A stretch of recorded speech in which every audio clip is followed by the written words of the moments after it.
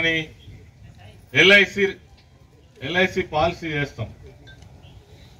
ఉద్యోగస్తులు చేస్తారు ఉన్న వాళ్ళు చేస్తారు డబ్బున్న వాళ్ళు కడతారు. కానీ రైతులకు మాత్రం బీమా సౌకర్యం లేదు. ఏకైక రాష్ట్రం ఏకైక ముఖ్యమంత్రి సౌకర్యం ఉండాలి. వాళ్ళ తరఫున ప్రభుత్వమే బీమా డబ్బు కడుతుంది అని పదిహేను వందల కోట్ల రూపాయలు ప్రతి సంవత్సరం కట్టి మీకు తెలియకుండానే మీ బీమా డబ్బులు కట్టి మిమ్మల్ని ఆ బీమాలో నమోదు చేసి ఏ రైతు ఏ కారణంతో జరిపోయినా వాస్తవంగా యాక్సిడెంట్ అయితే మాత్రమే వస్తాయి ఇవి. మీరు ఎవరైనా అడగచ్చు. యాక్సిడెంట్ అయితే ఏదో కారణంతో అకస్మాత్తుగా చనిపోతే తప్ప ఈ ఇన్సూరెన్స్ వర్తించదు.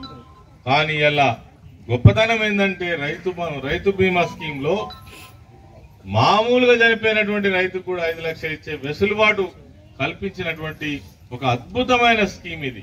ఇది దేశంలో ఎక్కడ ఏ రాష్ట్రంలో కనబడదు. ఇలా బడాయిలు కొట్టేటువంటి బీజేపీ రాష్ట్రాలున్న పద్దెనిమిది రాష్ట్రాలల్లో నీ రైతు బీమా నీ రైతు బంధు నీ ఇరవై నాలుగు గంటల కరెంట్ ఎక్కడ కూడా కనబడదు.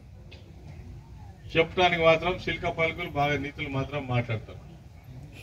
నలభై ఏళ్ళు ఆరా ఆనాడు కాంగ్రెస్ పాలకులు ఏలిండ్రు. కరెంటు ఉండేనా? ప్రాజెక్టులు కట్టిండ్రా? ఇలా ఒకటే ఉదాహరణ మీకు చెప్పదలుచుకున్న ఆశ్చర్యం కలుగుతుంది.